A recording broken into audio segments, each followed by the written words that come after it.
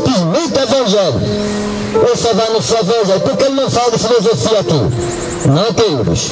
Jesus só falava do evangelho. Paulo só falava do evangelho. Nós falamos do evangelho. Somente o evangelho. Unicamente e exclusivamente o evangelho. Não temos outra mensagem aqui na terra. Mas o apóstolo Paulo teve encontro com os indígenas, ele anunciava o evangelho àqueles povos indígenas. E hoje está muito difícil a evangelização porque existe barreiras que impedem que o evangelho chegue aos índios, porque muitos dizem que não podem interferir na cultura indígena, porque até com certa razão, não posso desmerecer a razão dos antropólogos de dizerem que as pessoas estão levando religião. E na realidade é isso que está acontecendo nas florestas, nas tribos indígenas. Em vez de pegar evangelho, vão anunciar religião. Vamos religião. Coloca ali uma placa de uma igreja, de uma denominação e vai anunciar religião. Religião que eu faço parte é essa. Vocês têm que se, que se aculturar a nossos comportamentos e tradições. Se você não se amoldar a nossos comportamentos e tradições, vocês não são salvos. Aí querem pegar a religião nas tribos indígenas. De certa forma, os antropólogos e as pessoas que são contra esse tipo de evangelização têm uma certa razão. Tem uma certa razão, porque pegar o evangelho simplesmente, se pegar o evangelho simplesmente, as pessoas né, não entendem.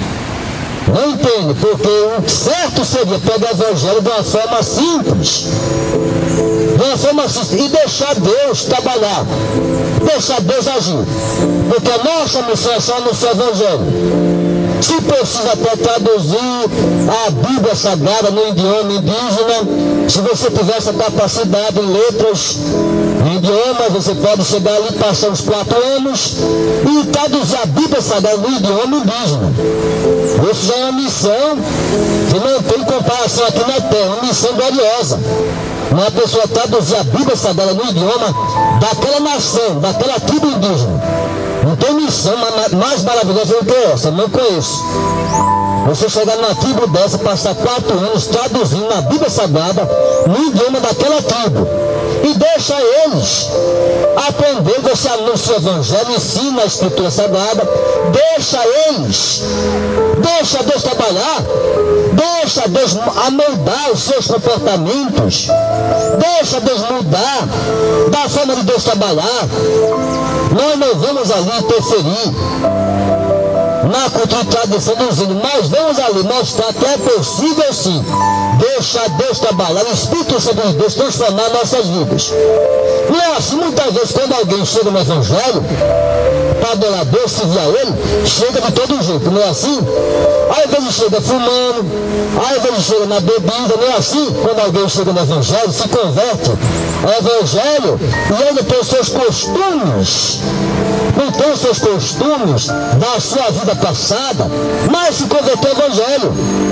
Mas com o passar do tempo, Deus vai transformando a sua vida e ele vai deixando aqueles costumes que ele tinha no passado. Não é assim que acontece? Muitas vezes acontece assim, o vai deixando a bebida, vai deixando a prostituição, porque Deus está trabalhando. O Espírito Santo de Deus está transformando aquela vida. Aquela vida vai deixando o mundo de pecado. E vai se tornando um homem de Deus, uma mulher de Deus. Não é assim que Deus faz? Muitas vezes nossas vidas, transformando nossas vidas de pouquinho em pouquinho. Assim também pode acontecer com qualquer um de nós, em qualquer nação, em qualquer, em, em, em qualquer país. Deixa Deus trabalhar. Que Deus sabe transformar nossas vidas. Glória seja dada o nome do Senhor.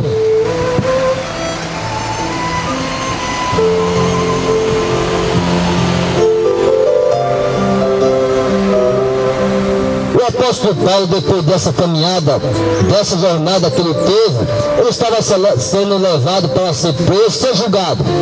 Ser julgado e depois ser condenado, aconteceu a sua morte. No ano 64, é, depois de Cristo, aconteceu a morte do apóstolo Paulo, na época do Império Romano, o imperador Nero estava ali no seu apogeu, o imperador Nero, e todos sabem o comportamento de Nero, o homem afeminado, infelizmente essa realidade ele mandou queimar, queimar Roma, mandou queimar Roma e acusou os cristãos, disseram que foram eles, os culpados, porque eles diziam que a terra ia acabar com fogo. Não é, que, não é eles que dizem que a terra vai terminar com fogo? Então foram eles que queimaram Roma. E aquele homem afeminado, Nero, mandou matar os cristãos. E Paulo foi morto nessa época, em 64, depois de Cristo. Mas enquanto isso ele estava em Roma, anunciando o evangelho, falando das idolatrias e depravações dos gentios. Aquele povo ali, povo romano, falava ali das suas depravações e idolatrias. Ele estava presenciando ali em Roma. Ele passou dois anos aí de Roma. Passou dois anos ali, alugou uma casa, passou dois anos, por causa do comportamento do apóstolo Paulo, foi permitido que um soldado apenas fizesse a sua guarda. Ele ficou naquela casa por dois anos. As pessoas chegaram para ouvir falar do Evangelho. O apóstolo Paulo anunciava o Evangelho em Roma. Ele falava aqui da idolatria da aprovação dos gentios. Romanos capítulo 1, versículo 18.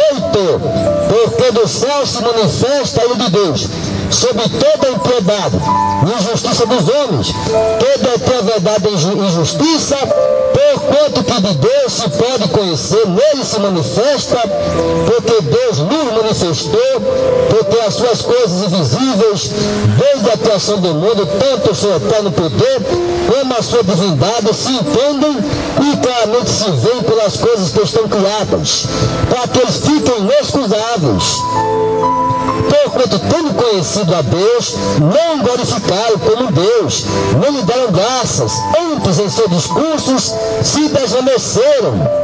E o seu coração insensato se obscureceu, dizendo-se sábios, tornaram-se loucos, e mudaram a glória de Deus, incorruptível em semelhança de, da imagem de homem, corruptível e de aves, répteis, de quadrúpedes, pelo que também Deus nos entregou a concupiscência de seus corações, a imundícia, para desonrar os seus corpos entre si, pois mudar a verdade de Deus em mentira honrar e servir mais a criatura do que o Criador, que é bendito eternamente. Amém. Pelo que Deus os abandonou as paixões infames, porque até as suas mulheres mudaram uso natural no contrário à natureza. Veja o que estava acontecendo em Roma. Até as mulheres mudaram o natural, ao contrário da natureza. As mulheres foram criadas o quê? Para gerar, para se casarem, não é? Constituíram lá com seus esposos e depois conceberam os filhos. E o que acontecia, acontecia em Roma? O apóstolo Paulo disse, pelo que Deus abandonou as paixões e fomes, porque até as suas mulheres mudaram o uso natural no contrário da natureza. Uma coisa que Paulo observava as mulheres se formando por outras mulheres, as mulheres desejando outras mulheres, é isso que Paulo estava observando ali, Roma, queridos. E quando o apóstolo Paulo pega uma coisa dessa, fala do evangelho dessa natureza, desta forma, já imaginou o Nero como ficou? Revoltado, doido para pegar Nero, eu vou pegar Nero, eu vou matá-lo. Porque ele dizia uma coisa dessa aqui, aqui em plena Roma, ele não pode falar uma coisa dessa não. Porque o imperador Nero é o que? Afeminado, afeminado. O homem homossexual. E ele não aceitava que alguém falasse essas coisas. Porque Deus os abandonou as paixões infames. Porque as suas mulheres mudaram o uso natural no contrário da natureza. As mulheres começaram a se formar por outras mulheres. E E ali nós vemos que e semelhantemente também o uso natural da mulher, se inflamaram em sua sensualidade, não para com os outros, varão com varão, cometendo torpeza, recebendo em si mesmo recompensas que convinham seu erro. Mais uma vez o apóstolo Paulo falando uma palavra dessa, e toma Roma. Ele queria ser morto, só podia ser isso. Porque a pessoa falar no Império Romano, justamente o imperador daquilo, afeminado, homossexual, e queria matar Paulo de todo jeito, os cristãos de todo jeito. E Paulo seria o primeiro na diz para ser mortos. Sendo o primeiro que o primeiro mandaria prender depois matá-lo. Porque ele estava falando contra esses comportamentos que eles estavam ali observando ali Roma. Tu já imaginaste como é Roma no passado? Como era Roma no passado? Já, já posso até imaginar. É, uma, uma liberdade, uma liberdade todo mundo vivendo de todo jeito, na liberdade, na sexualidade, na pornografia, todo mundo vivendo de todo jeito.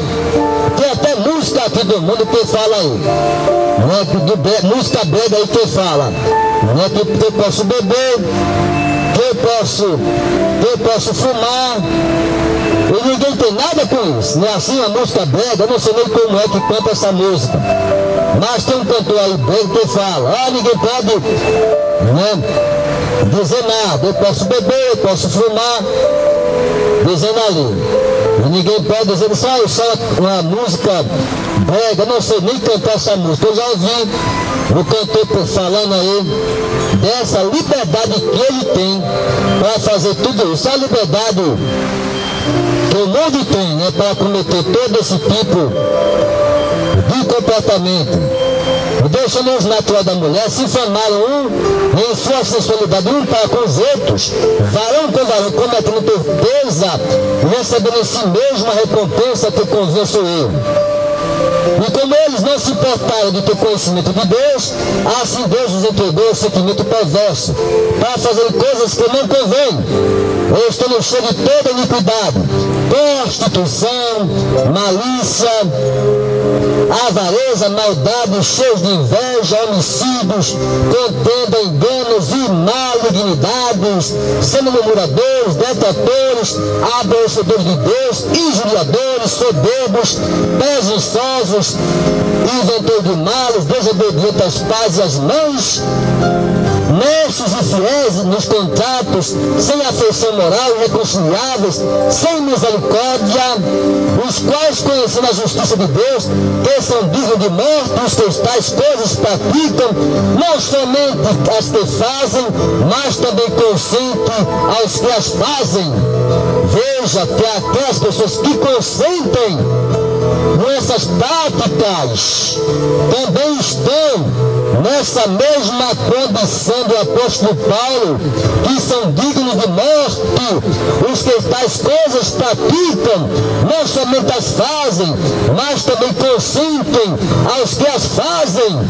Aí começa a falar do governo. Já imaginou o apóstolo Paulo falando do governo de Dizendo que quem consente com essas práticas também é condenado pela morte, é condenado de morte.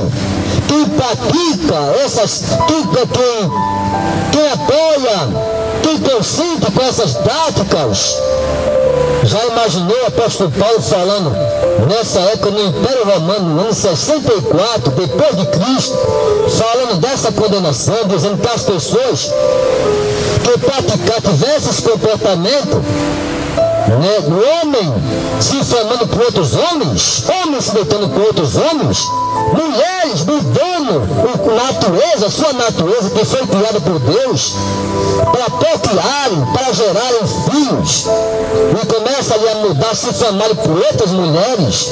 Já imaginou o que Paulo, naquele momento ali, quando Paulo proferiu essas palavras no livro de Romanos, já imaginou o Neo doido para pegar ele? Não está doidinho, vou pegar esse cara, vou pegar esse cara.